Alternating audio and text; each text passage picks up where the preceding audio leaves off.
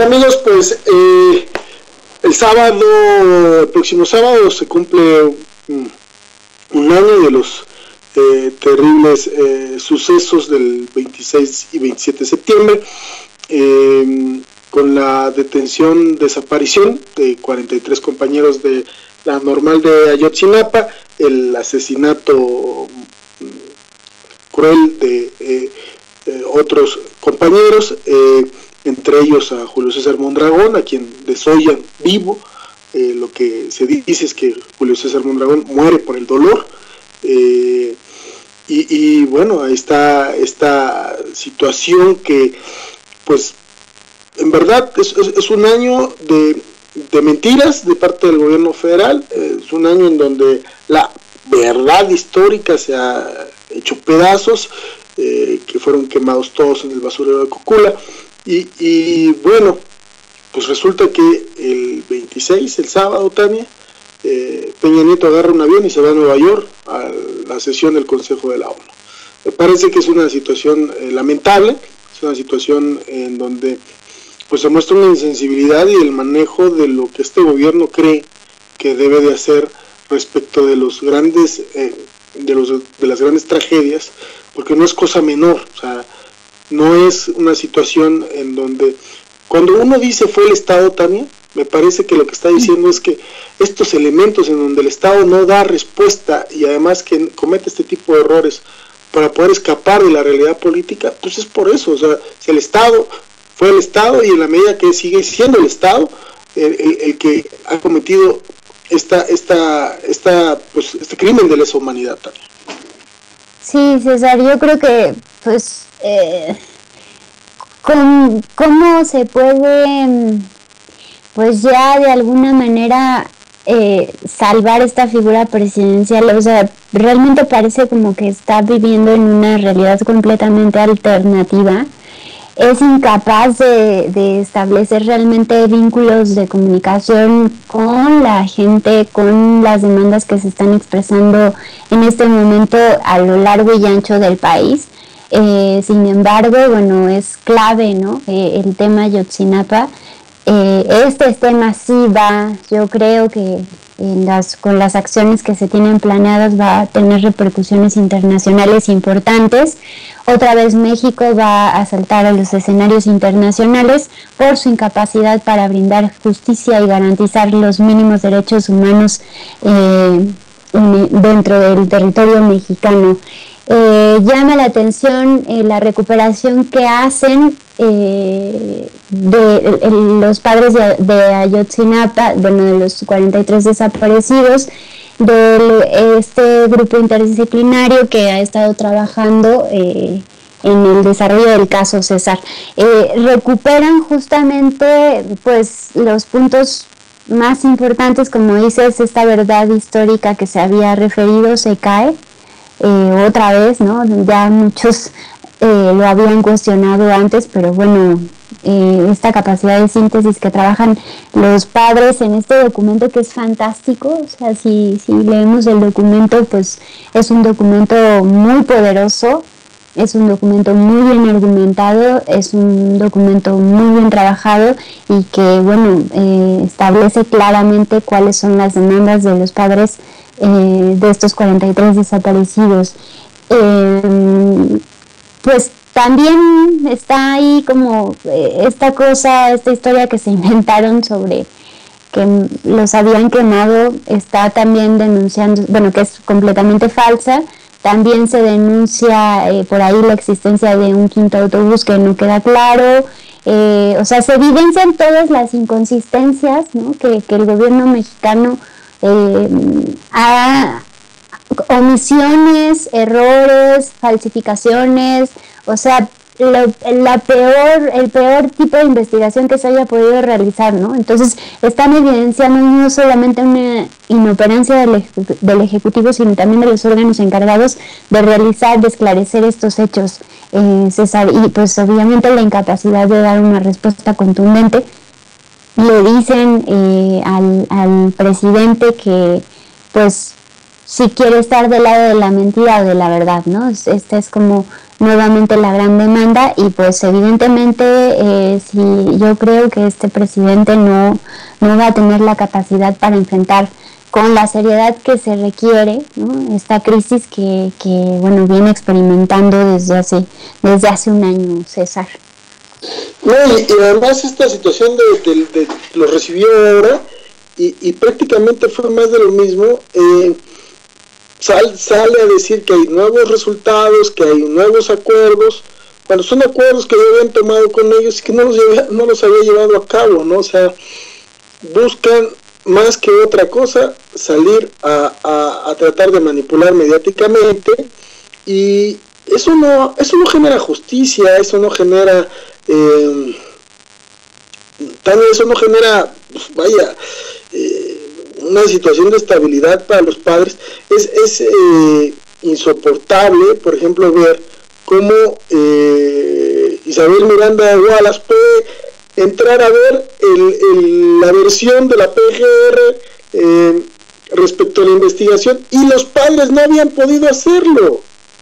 O sea, eh, ¿cómo es posible que, se manejen a través de filtraciones la, situación para poder debilitar? Ahora salen con esta, eh, salieron con esta vaya estrategia de, querer decir que, que Álvarez y Casa es el, principal, el presidente de la CIT, la, Comisión Interamericana de Derechos Humanos, es el que está tratando de desestabilizar el gobierno de Peña Nieto.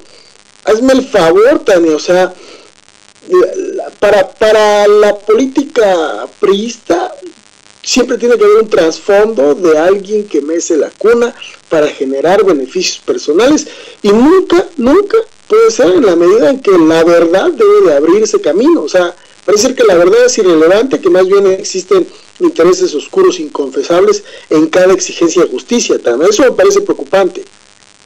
Sí, pues es lo que te comentaba hace un momento, César, es, es increíble cómo, o sea, ellos están viviendo en una, una realidad alternativa, ¿no? O sea, yo veo a, a Peña Nieto haciendo sus maletas para porque ya va a brillar otra vez en, la esfera internacional porque pues va a ir a Nueva York, ¿no? O sea, como estas historias de telenovela eh, que, que pues realmente eh, ya eh, no, no, ya no tienen cabida, ¿no? O sea, ya, ya es, es una situación en la que pues nadie les cree nada, ¿no? O sea, uno ve el, rostro de Peña Nieto en las fotografías y, pues se ve, ¿no? Que realmente no hay una voluntad para resolver este problema. Es como una cosa en la que le pesa, ¿no? Le pesa tener que eh, hacer, pues recibir a estos, a estos padres.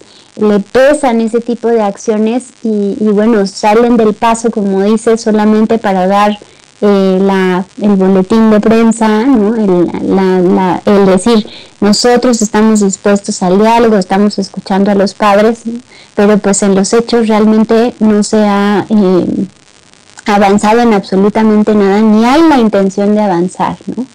Eh, o sea, eso es lo, lo, lo, triste de esta situación y, y bueno, es esta respuesta tan, tan, no sé, como tan con saben muy poco, pues, o sea, los padres completamente los dejen satisfechos, pues va a enardecer lo que va a suceder en los siguientes días, sin duda alguna, César. Sí, claro, y, me parece que también habría que retomar esta situación eh, que decía la rayuela eh, de la jornada el día de ayer. Creo que lo que habría que abrazar es el diálogo. Creo que eh, se está claro que la Policía Federal está provocando, está claro que hay un, sector del, gobierno que busca que la violencia se desborde y, está claro también que pues, los padres están buscando justicia y están en su propia agenda y que eso no debe llevar a un enfrentamiento violento, que la violencia no es el camino. Lo que debe de funcionar aquí es generar un ambiente en donde en verdad se haga justicia, Tania. Eh, Peña Nieto va al Consejo General de la ONU y me parece que, no será bien visto. Creo que eh, una de las cosas interesantes que va a pasar en el Consejo General de la ONU es que quizás quede aislado, ¿eh? O sea, que, alguien le haga el vacío a su agenda y, nadie lo... Ya ves que en esas reuniones siempre hay eh, pues acercamientos entre otros presidentes, ¿no? Y yo creo que, habrá ese vacío en la política exterior, creo que habrá que seguir muy de cerca que Peña Nieto se va a dar cuenta que está solo en la política internacional y que es muy probable que Tlataya, Ayotzinapa, Canahuato le estallen y le regresen en, en, la Corte Penal Internacional. ¿eh? Sí, sí, sí, claro, César, es, es este... Pues es que ya no, no sabe uno cómo expresarse del gobierno, ¿no? De, de Enrique Peña Nieto es realmente deplorable la, la capacidad, eh, o sea, bueno, la nula capacidad que tiene para tanto llevar al país de manera interna como de manera internacional. O sea, pareciera ser que eh, pues no sé, o sea, era como sentarse en la presidencia, en la silla presidencial por sentarse en la silla presidencial, ¿no? Y se la pasa en chorrocientos mil eventos haciendo inauguraciones ya, aquí y allá, pero parece que no se sienta a gobernar, ¿no? que no tiene una capacidad de toma de decisiones, que, que al final de cuentas, como lo comentábamos, el, el, el peso de la historia va a caer sobre él, ¿no? O sea, yo no sé si ahora, eh, pero cuando desocupe la silla presidencial y voltemos a ver lo que hizo Enrique Peña Nieto en la presidencia, eh, lamentablemente vamos a ver solamente desastres, ¿no? desastres en, la economía, desastre en la parte social, eh, en, en, la desarticulación todavía mayor que dejó Calderón ha exacerbado la desarticulación del tejido social, ha pegado donde duele más, ¿no? Eh, que es en, no en este conflicto de narcotráfico, eh, de las mafias del narcotráfico, eh, sino ya pegándole a la sociedad directamente, a la parte más sensible, a los jóvenes, a los estudiantes, a la esperanza de este país, pues, o sea, cuando volteemos y vemos y de por sí ahora ya lo hacemos con esta desazón, pues, no sé, o sea, como, como que, como que sí, pues es,